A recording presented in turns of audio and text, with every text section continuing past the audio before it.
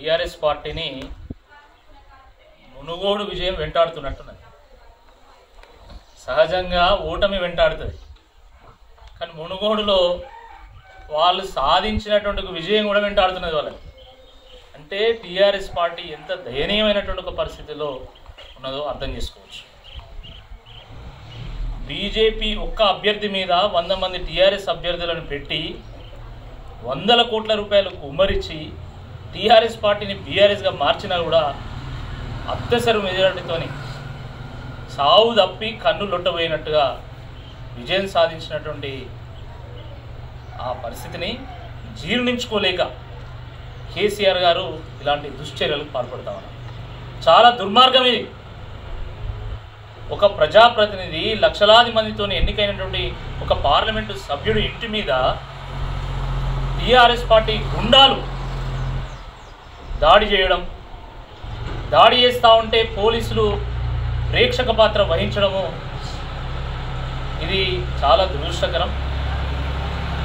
రాష్ట్రంలో శాంతి భద్రతలు దిగజారుతున్నాయని చెప్పడానికి ఇది ఒక నిదర్శనంగా మనం భావించవచ్చు. పైగా ధర్మపురి అరవింద్ గారు నిజామాబాద్ చౌరస్తాకు రావాలి. నిజామాబాద్ చౌరస్తాకు వస్తే చెప్పుతోని కొడతారని చెప్పి కవిత గారు వ్యాఖ్యానించడం చాలా దురదృష్టకరం. నువ్వు చేసిన చక్కదనం చాలని చెప్పి ప్రజలు ఆల్రెడీ నిజామాబాద్లో కవితను చీగొట్టిల్లు. చీగొట్టిన బుద్ధి లేకుండా ఈరోజు మళ్ళీ చెప్తూ కొడతారని మాట్లాడుతూ ఉన్నాను నిజామాబాద్ చివరస్తాలో ఆల్రెడీ మీ పార్టీని చెప్పుతో కొట్టిల్లు. చీగొట్టిల్లు.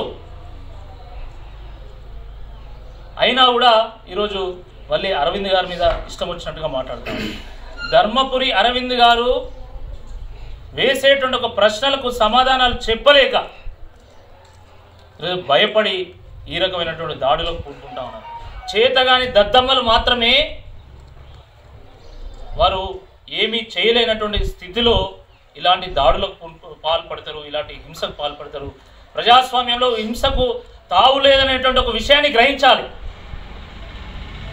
ప్రభుత్వంలో ఉండి ప్రభుత్వమే ఇలాంటి దాడులకు దిగజారితే ఇంకా పాలన ఎక్కడున్నది?